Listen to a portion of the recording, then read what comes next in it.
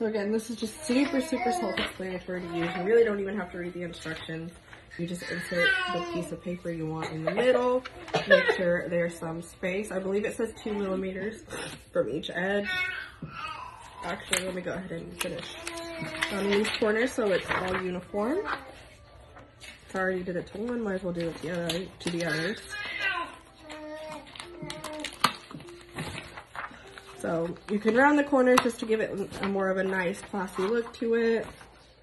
Whatever you really want to do.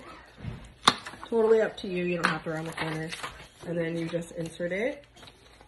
There's a side that is open right here. You insert it right here.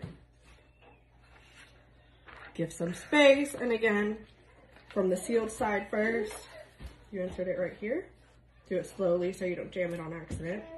And then it'll just start doing what it needs to do. And it does do it fairly quickly. You don't have to wait too, too long for it to do it. It doesn't get too hot. Really, the only part that gets just a bit hot is right here at the end. So do be a little bit careful if you have kids around or anything. But super simple, simple to use.